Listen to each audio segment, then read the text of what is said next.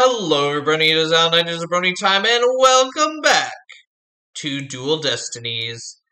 And, uh, yeah, we're about to, uh, get Cosmos's new testimony about the person he is claimed to have seen.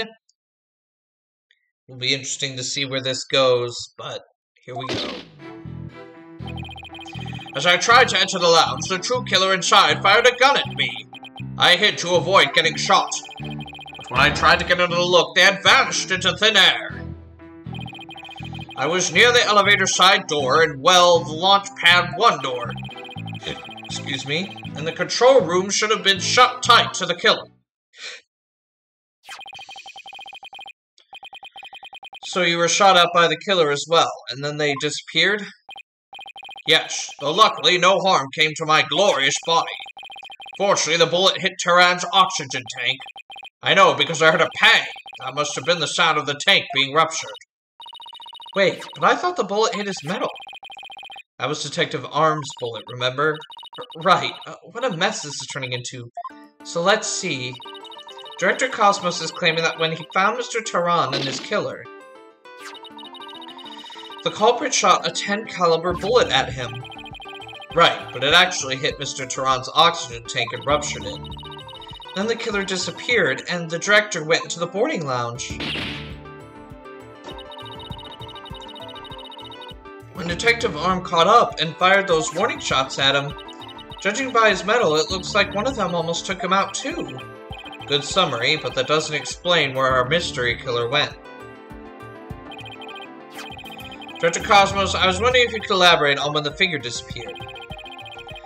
I'm ashamed to admit I tried to hide myself when I was shot at, but when I peeked back into the lounge, the real killer was gone. I rushed into the lounge straight away to investigate. What I found was Terran with a knife in his chest and Starbuck out cold on the floor. Hmm, so we have a culprit who vanished from the scene that had no escape route. Vanished without a trace. It's truly like one of the great mysteries of the cosmos. Humph, a riddle of the ages indeed. But I'd rather know how a fibbing leech such as you can be lauded as great. A great man is always misunderstood in his own time. But he must remain true to himself, even if those around him don't understand. Wow, that might be the first true statement he said all day. But how do you suppose this person managed to vanish so suddenly?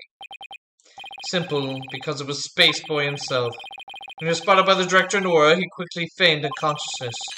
That would certainly take all the mystery out of the idea of a vanishing culprit. I want to raise an objection, but I don't have any counter-evidence. Director Cosmos, when you saw this person, did you also see Mr. Starbuck on the floor? No, because it was dark as a black hole in there. I didn't see Starbuck until the other person vanished and I entered the room. Hmm. It was exactly helpful. Hmm.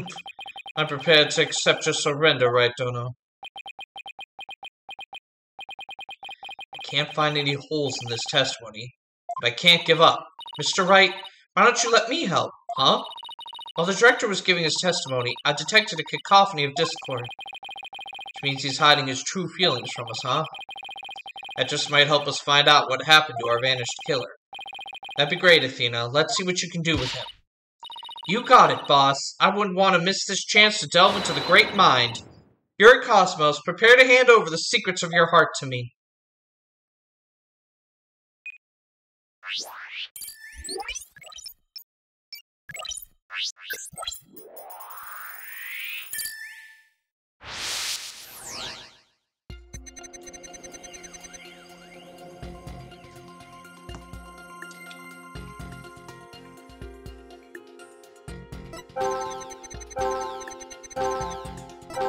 And nothing weird there.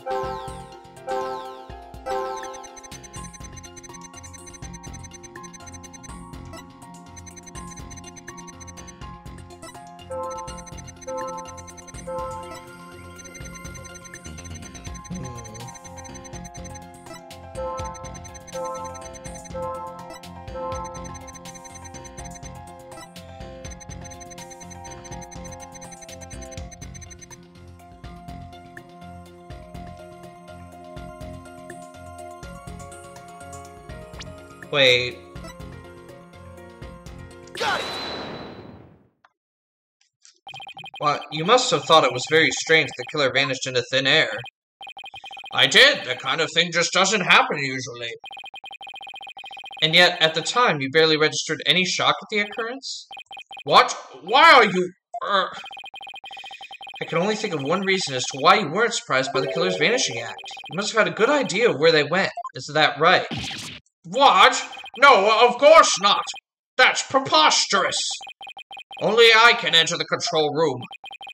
And the area beyond the launch pad door was filled with smoke, making it impassable. As for the southern door, I was standing right there, so there was nowhere for the killer to run to. Maybe, or maybe not. You went into the room to check on Mr. Starbuck and Mr. Prede Mr. Terran, yes? What if the culprit took that opportunity to silently slip out through the southern door? I highly doubt it, as you recall right after I entered the lounge. Detective Vaughn came rushing towards it herself via the southern hallway. Anyone trying to escape through there would have been caught by her. Yet the director wasn't surprised the killer vanished. So you're absolutely sure there was no escape route for the culprit to use? It's working, boss. One more punch and it'll be a knockout. There seems to be one more emotion that's at odds with his testimony. Go get him. Okay, back to the Matrix it is. Time to pinpoint our way to victory.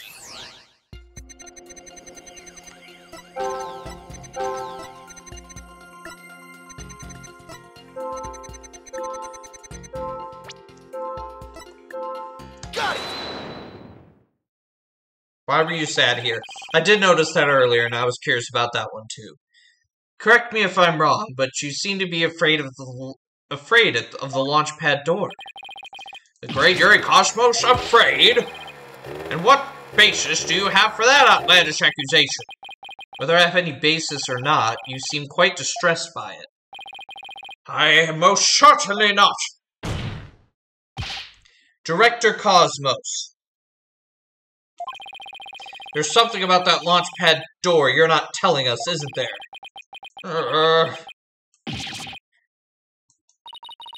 Wow, he's speechless. It looks like you hit the nail on the head, boss. Just input those two pieces of data and? Yes, just what I wanted to see. Presto changeo, less discord. Looks like we're on the right track. Thanks, Athena. How to make sense of what we've learned. Dr. Cosmos wasn't surprised that the culprit suddenly vanished from the lounge, which points to the possibility that he knew where the killer had escaped to. Furthermore, talking about the door to the launch pad made him uneasy. In other words, he's probably hiding something about the launch pad 1 door. When you put these two pieces together, only one solution to this puzzle comes to mind. Director Cosmos, did the real killer escape through here?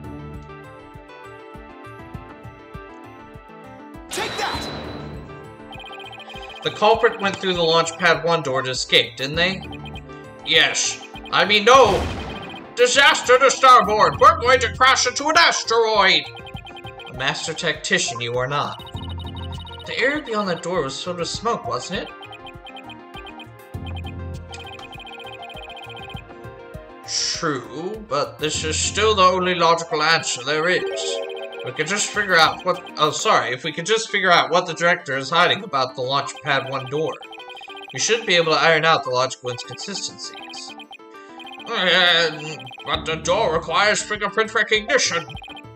Only Starbuck, Terran, and I have access.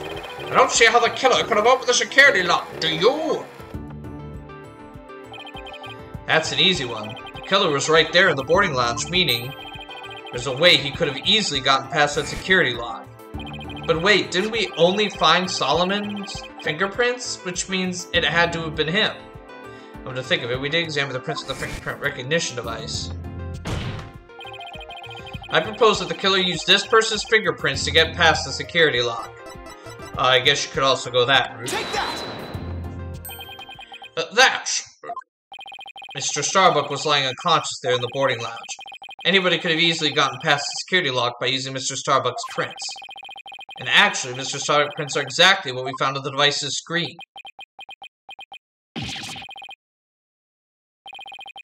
Looks like he does have something to hide about the Launchpad 1 door. I'm betting it's got something to do with the culprit's escape route. I don't have enough information to see the whole picture yet. You know, something just occurred to me. Would you like to hear it? Huh? Oh yes, by all means. There's a security camera in boarding lounge 1. Right, the one that recorded the victim and the defendant. What about it, Your Honor? If the true culprit escaped into the launch pad 1 corridor, then that might be recorded from the security footage as well. And the mystery would be solved. What do you think of my logic?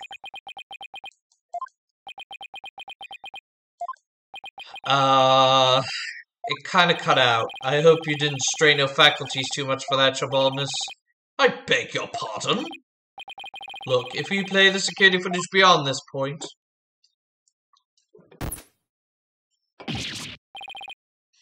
Oh my, the footage cuts off. The camera was running on backup power, but apparently the power cables were damaged. Most likely by the after effects of the explosion. There's no footage after this, be it of criminals or space aliens. Hmm, and I thought it was such a good idea, too. Hmm. Just because a grandchild is watching from the gallery doesn't mean you should try to show off too much, Grandpa Baldness. Prosecutor Blackquill, how did you know about my grandchild? His grandchild just learned a little about the harshness of the adult world. Setting aside this issue of grandchildren, I'd like to have the witness continue. Director Cosmos, could you tell us more about when you entered the lounge? Mm, uh, if I must.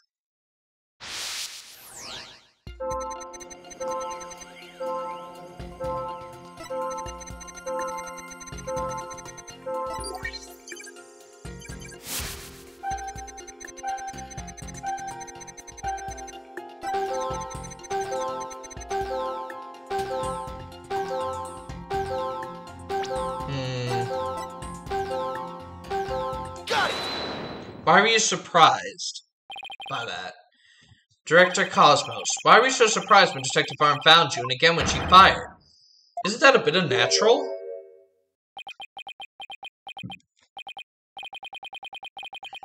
Sadly, even a great man such as myself have ordinary human feelings.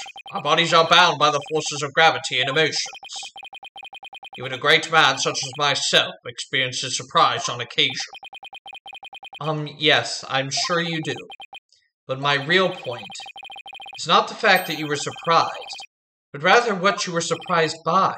Pardon me? First, you were surprised when Detective Arme found you in the lounge. And just after that, you were of course again surprised when she shot at you. But considering what you were surprised about, a strange phenomenon occurs here.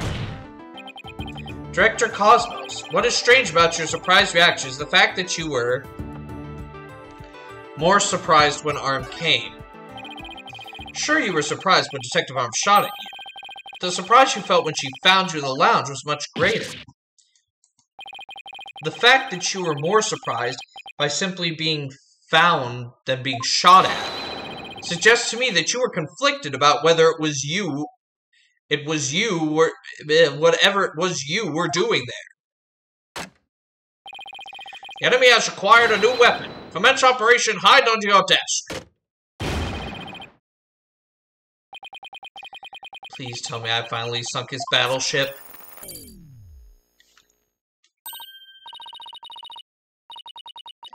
Boss, I'm getting less discord now. That must mean he really is hiding something about that launch pad door. Whatever he's hiding most likely has something to do with the killer's escape. Wonder what it could be. He was doing something suspicious around that door. Maybe we can spot some change between before he came to the room and after. Detective Fulbright gave us a photo taken after the crime. Let's run a comparison. Let's see, this is the footage of the door before Director Cosmos arrived. And this is how the door looked after the director entered the lounge. Hey, look at that! There is a change. Something's definitely different. Director Cosmos, what is it? What have you two been up to over there? Finding the answer to what you were doing when Detective Arme found you, that's what. The answer lies clearly in this footage. All you have to do is compare it to the photo that was taken during the investigation. Don't be ridiculous. You really do have an answer. You'd have pinpointed it out already. He's asking for it. This is what changed directly after the incident. The direction of the knob changed. Take that! The answer is the knob. Your Honor, please take a look at this footage. Hmm, let's see. Take a look to the knob next to the launch pad door. As you see, it's horizontal. Yes, it is, isn't it? However, when we investigated the scene of the crime yesterday, the knob was vertical.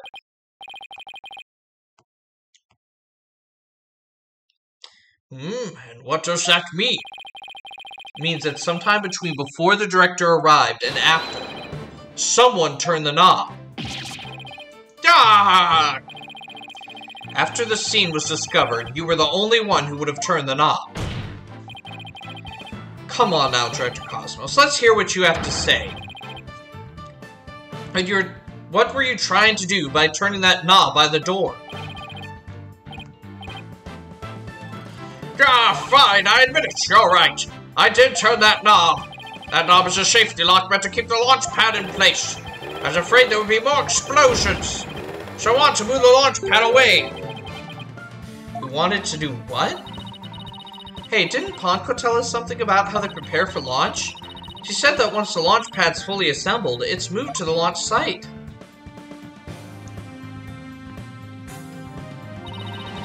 The safety lock in the boarding lounge has to be disengaged first. Guess that clears up the knob it's for.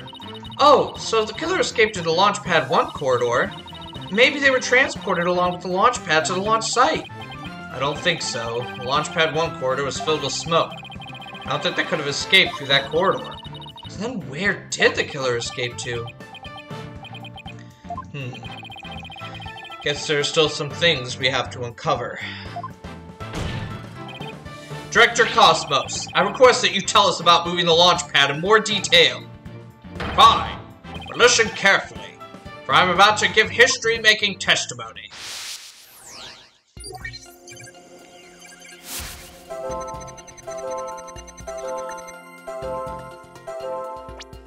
Why are you happy here? I had no choice but to disengage the safety lock. Make it sound like you were reluctant to do so, and yet when you did it, you felt some joy, as if you were very pleased with yourself. How do you do it? How do you know everything as if you were there? Pretty impressive, isn't it? This is the power of analytical psychology. So, care to explain why you felt joy when you disengaged the safety lock? When I think back on the facts we've discovered up to this point, I have to believe that you were trying to fulfill some hidden agenda.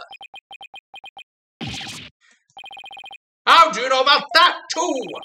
Because I'm more or less a pro at guessing. But you have no proof that I had a hidden agenda. Even if I did, I would never ever tell you, so there. I know they say people regress as they grow grew older, but you, sir, take the cake. And how could you doubt a man with such great intensity, intelligence, Silence. and integrity?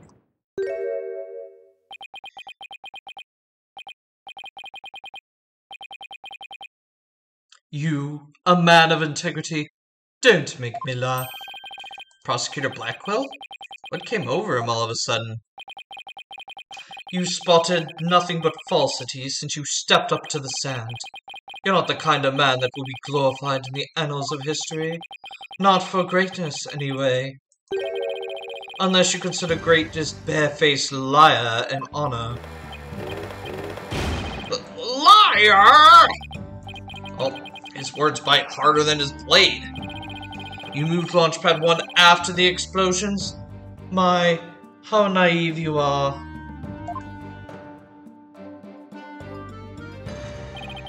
You fail to realize how even the facts themselves have betrayed you. You know, just a thought, but modern English can be your friend. And here's a thought for you. Immediately following the bombing, Launchpad 1 was on the boarding watch one side. The police confirmed this on scene. What? The liar! So that means the director did move the launch pad. Curse my judgment for calling history's greatest liar to the witness stand. Let us leave him to indulge in his lies and war games to his heart's content. A liar? But it doesn't make sense. You can't deny that someone turned that knob. Once the safety lock was released, I'm sure the pad must have went somewhere. If we chase down the truth of this issue, we just might find where the killer escaped to. You're sure it must have went somewhere? We just might find out? Your arguments are nothing but conjecture, buffling, bluffing, and wishful thinking.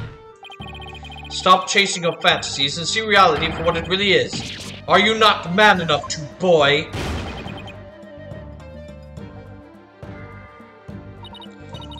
Talk about hitting below the belt. Youngins these days. I don't understand it. I'm sure Director Cosmos must have moved the launch pad. The knob was definitely turned after he came to the lounge. The launch pad is right where it's supposed to be. Ah! Wait a minute. Maybe I have it all backwards. What if the director turned the knob, not to move the launch pad away, but to bring it back to where it was supposed to be? What are you blathering about? What if the launch pad was at the launch site before the incident? Then after the incident, Director Cosmos moved it back to its usual spot. All he had to do was turn the knob to call the launch pad back, and it would be right where the police found it. Oh, dang.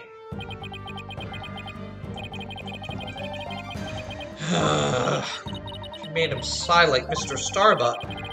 Is that I said really that off base? It pains me to have to explain how wrong your own logic is to you. However, our great liar turned the knob only after he discovered the crime scene. Indeed, the pad existed beyond the lounge when our Astro Wonders made their escape. A fact that has been recorded been recorded for posterity on filmless film. Oh, right. So to reiterate, stop chasing your fantasies and see for Ali what it really is, boy. Get a grip, Mr. Wright, and focus. We know the launch pad must have been moved, but our deductions and the actual facts of the case are in direct contradiction to each other. Well, maybe the two astronauts never actually boarded the rocket. This footage could be fake, taken with body doubles after the incident or something. On second thought, that's too far-fetched even for me. Never actually boarded the rocket. Hey, wait a minute. Maybe, just maybe, huh? Huh? Prosecutor Blackquill, what if I told you that the two astronauts never set foot inside the launch pad area, but instead went into another place?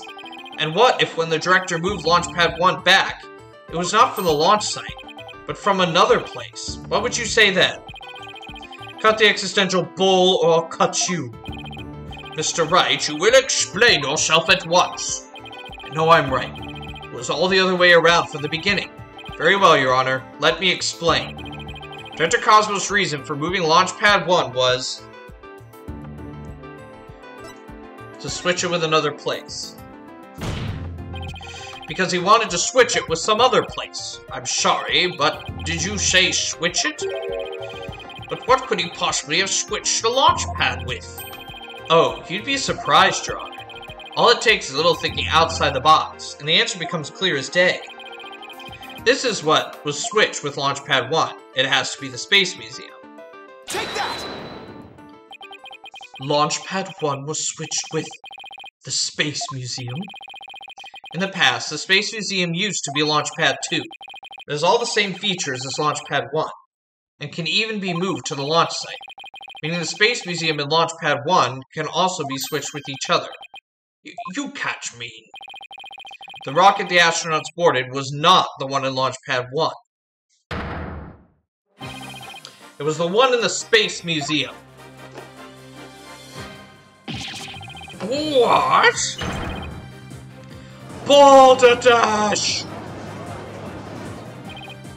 And yet, it's the only explanation that counts for every riddle and inconsistency.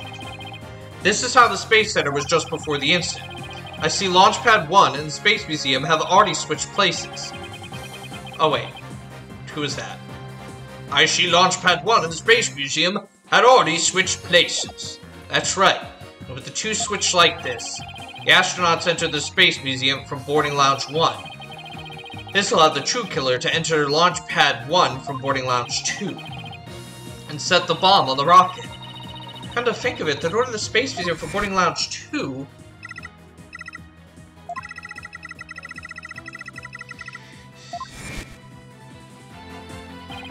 Exactly. Anyone could pass through the door to the Space Museum. There is no fingerprint recognition system on that door. In other words, with the two launch pads switched like that, someone other than Mr. Scriber could have easily planted the bomb.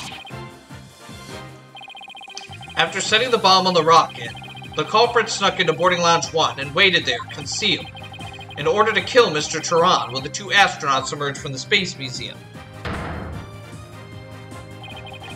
Recall that Miss Blackquill, Mr. Starbuck, and the director all saw a suspicious, suspicious figure, who, who we can suppose after killing Mr. Terran, made their escape into the Space Museum. After that, Director Cosmos switched the two launch pads back, without realizing the killer was inside the Space Museum.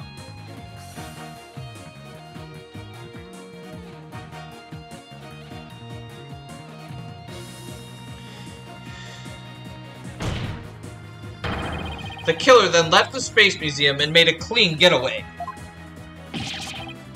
Yeah! Wright, Dono, I see you know how to handle a sword and handle it well. Perhaps I should call you a Sword Master Bluff? I'm a seasoned warrior who has cut down many a prosecutor. But unless you can prove your theory, it's no better than a rusty sword.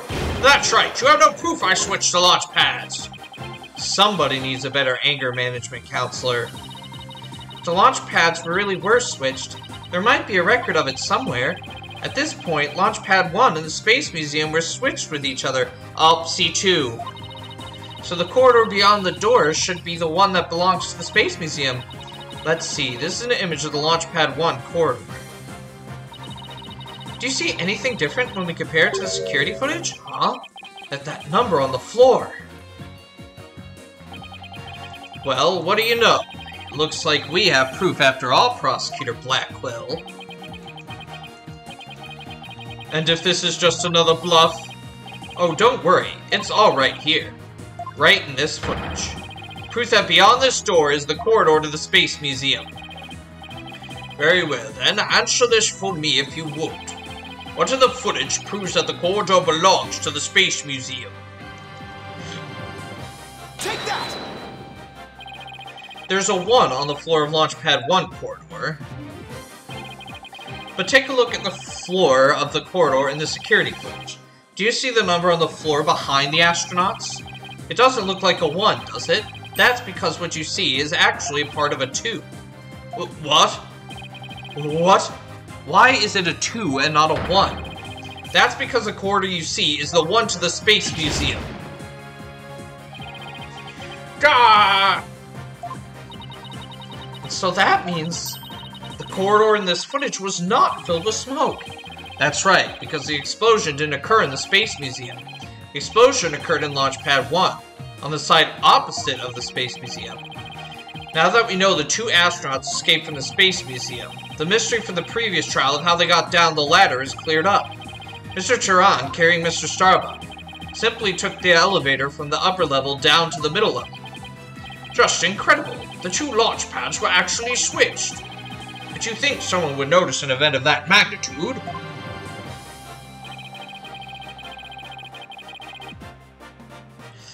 Everyone was down in the basement shelter when the launch pads were swapped back. There's no way anyone could have known what was happening on the surface.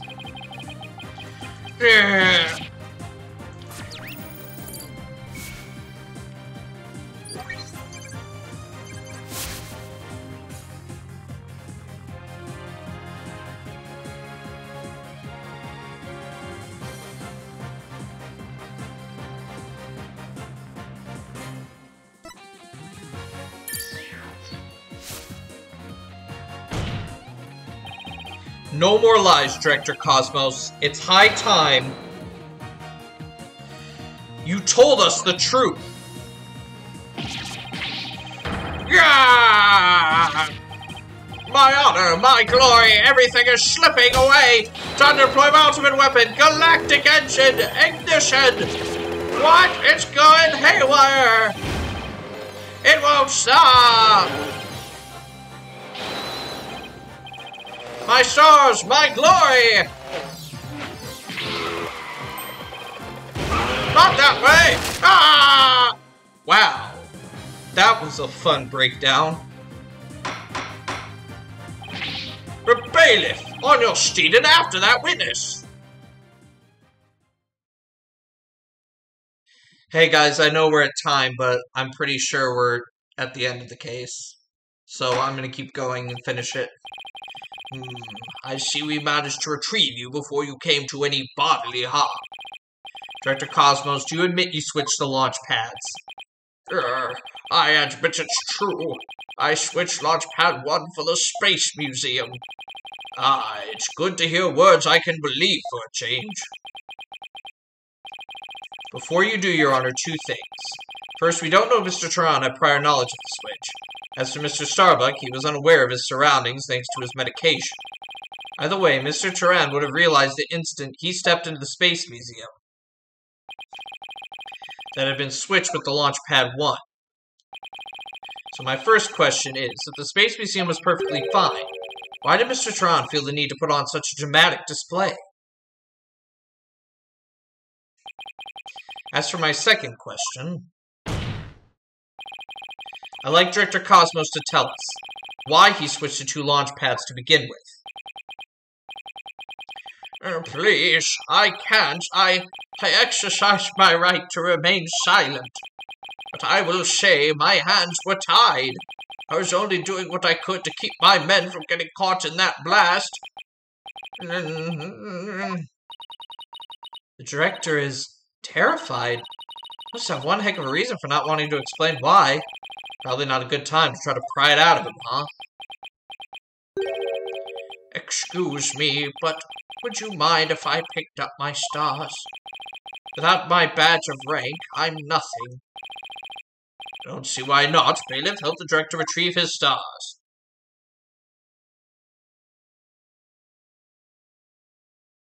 It appears a possibility of a culprit other than the defendant has presented itself. Mr. Starbuck, is there anything you wish to say? I don't get it. Don't get it? What don't you get? Director, why did you do all that? From the very beginning, you never meant for the launch to go ahead, did you? Y you, you tricked us! Mr. Starbuck. Starbuck, my boy, I'm sorry. I can't tell you the reason why, but I had to do it to protect the Space Center. Director! Will I, will I ever get the chance to go in space again?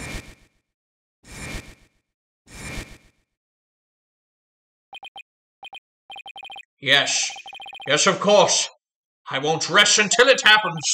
I will get you into space again, my boy.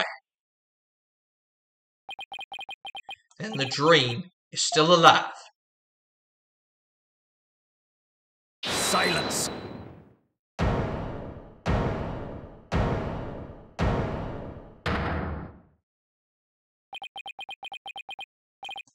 Hmm. You're not going to space, Starbuck, but prison. I won't have it any other way. Why are you so hung up on him? Yes, I accept that the launch pads really were switched. If there were a third person at the scene, I suppose they could have escaped. But I have yet to see proof of this third person's escape via the Space Museum. Oh, that's a good point. Ah, he's right. I don't have any proof. Starbuck, you will spill everything you know. What, me? Where did you get those bombs? Tell me now! If you don't, my blade shall feast on your blood! I'm going to die, I'd want to die in space! I have to do something. Solomon Starbuck, prepare yourself.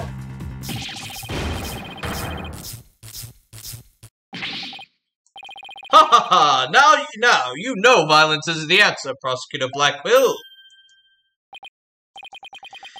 Oh, ah, that annoyingly cheerful laugh. Be none other than...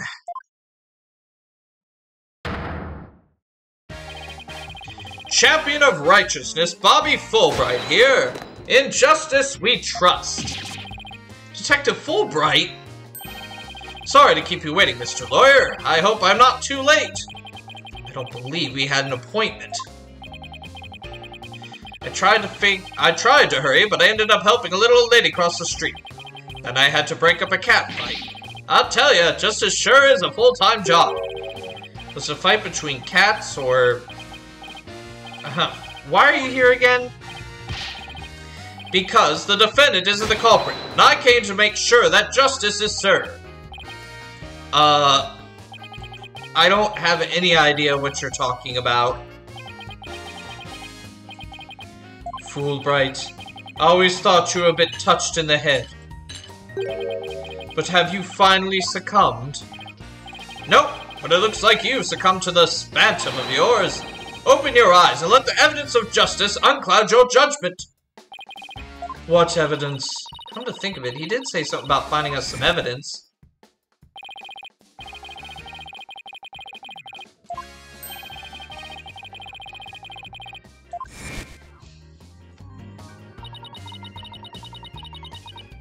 I didn't think he was serious, though. So what is it, Detective? Is it something that will prove Mr. Starbuck innocent? It is indeed. Have a look at this. What's this? A lighter? That's right, a lighter thought to have been used by the culprit, no less. The Space Museum's cleaning robot picked it up. It has the victim Clay Terran's blood, along with his killer's fingerprints on it. What? Yeah!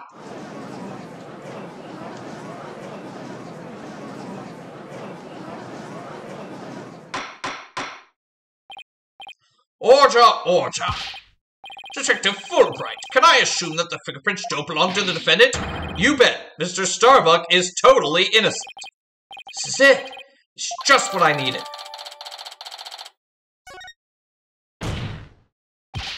Your Honor, this is decisive evidence that supports the defense's earlier claim. Explain yourself, Mr. Wright. With pleasure, Your Honor. Recall where this lighter was found. Based on that, we can extrapolate that after the killer murdered Mr. Terran, they escaped with the lighter in hand into the Space Museum, where they dropped it. The switching of the two launch pads occurred. Then finally, the killer left through Boarding Lounge 2 and made their escape. Meanwhile, Mr. Starbuck was found in Boarding Lounge 1 after the murder. A fact that Director Cosmos has testified to. Therefore, Mr. Starbuck couldn't have possibly been the one to drop the lighter there. Ah, uh, but the defendant had free reign of the area until Director Cosmos appeared. Could he not have dropped the light in the Space Museum during the span of that time? You'd like that to be true, wouldn't you? But Director Cosmos testified that right after he saw the mysterious figure with a lighter, he went into the lounge and found the unconscious Mr. Starbuck. Others, Mr. Starbuck wouldn't have had the time to double back to the museum. No, Prosecutor Blackquill, this lighter could only have been dropped by the real killer. Most importantly, Mr. Starbuck's fingerprints were nowhere to be found on this lighter. You understand what this means, don't you? The piece of evidence unequivocally proves that Mr. Starbuck wasn't the culprit. This does indeed appear to be decisive evidence that proves the defense's claims. As for the remote switch that was found in Mr. Starbuck's pocket, we can assume it was planted by the killer on the unconscious Mr. Starbuck. No, there must be some mistake. Frankly, Prosecutor Blackquill, I've been worried about you. You've been chasing this phantom for seven whole years. I understand your urgency because tomorrow... Science.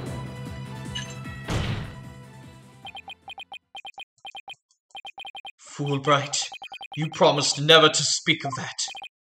Huh? Tomorrow? What about tomorrow? Given the body of evidence, I think it's safe to say the defendant is innocent. In light of the fact that it is impossible for him to have committed the crime, Few unanswered questions remain, so I took forward to seeing what you want to uncover. But for now, this court finds the defendant, Solomon Starbuck, not guilty.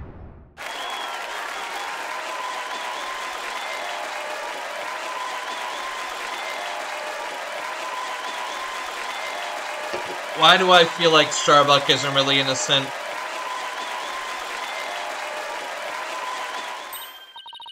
Yes, we did it, Mr. Wright.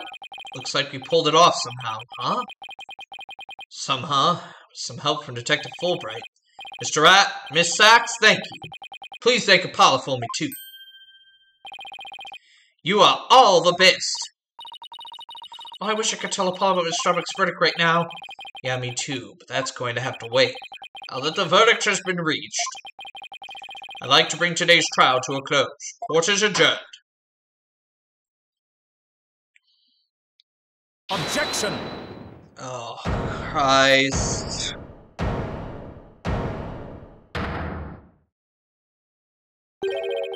It's too late to object, isn't it? It simply isn't possible. Something's wrong. Prosecutor Blackquill, are you dissatisfied with the verdict? Fulbright, what were the results of the fingerprint analysis for the lighter? Oh, the result. Oh, the results. uh, well, I was in a hurry, you see, and there was that cat fight, and, well...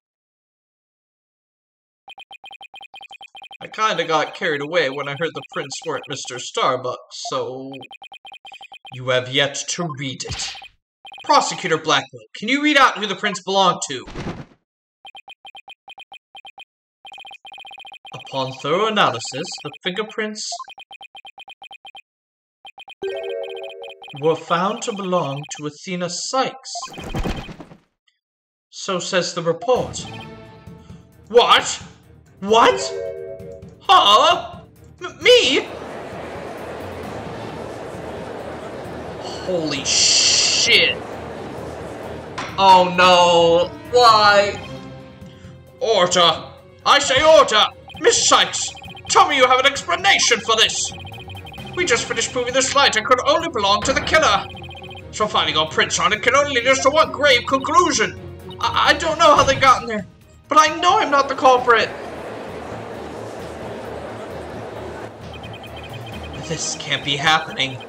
We built up our argument one piece by piece, and I don't think any of our reasoning was faulty. So how could it have led to this?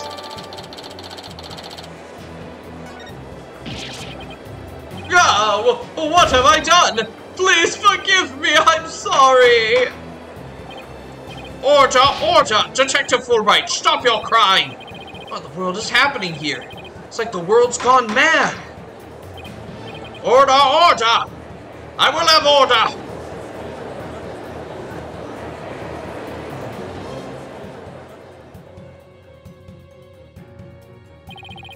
Confusion spiraled into utter chaos. After all we'd fought for, the truth had turned it cruelly on us to accuse of the crimes.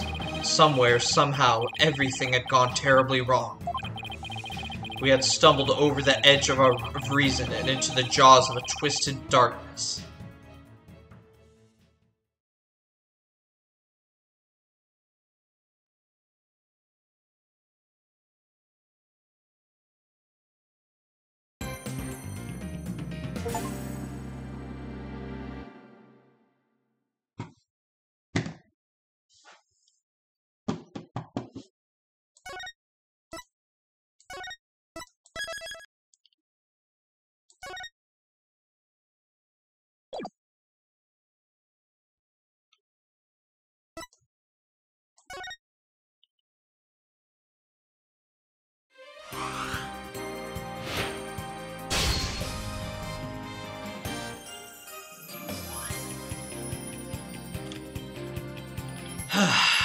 Well, um...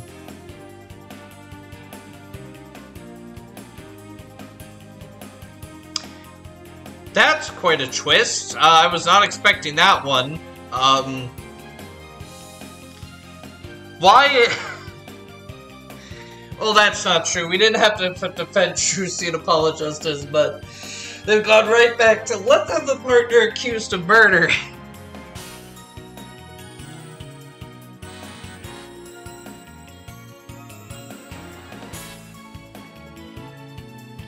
I'm sorry I'm so silent here, but uh, that was a great case. I was I was invested in that one from beginning to end, and of course it had quite the payoff at the very end there. Holy crap!